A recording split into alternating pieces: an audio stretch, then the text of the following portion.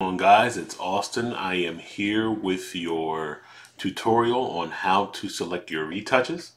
Uh, so by now you should have received the gallery link uh, from your session and from here you will begin to make your selections on your retouches. So you'll probably scroll through look at the images from your session see some of the images that you like thinking you know what's needed for retouch right so let's say you were to select an image here. You go ahead and hit the heart. It'll say you're going to create a favorite. You're going to type in your email address and hit sign in. Uh, you're going to go here under the hearts, which is going to be the favorites. Uh, so it'll go to the add favorites tab. And let's say I'm going to pick this one.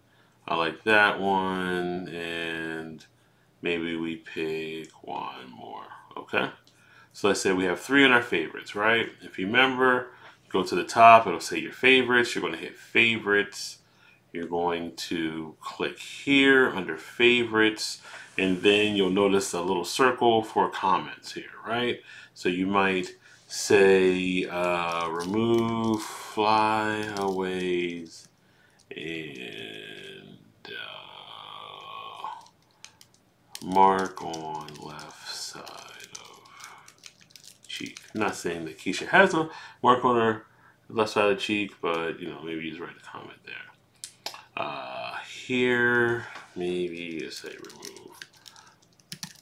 Maybe move flyaway again, and maybe there's nothing here, right?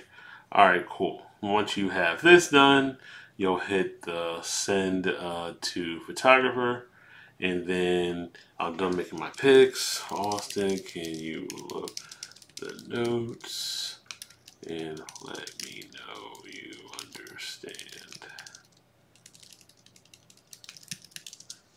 And you'll hit send and then I will receive the uh, I'll receive the comments uh, from the session and I will send it off to the editor. So if you have any questions, feel free to email, but this is the process in order to select your retouches.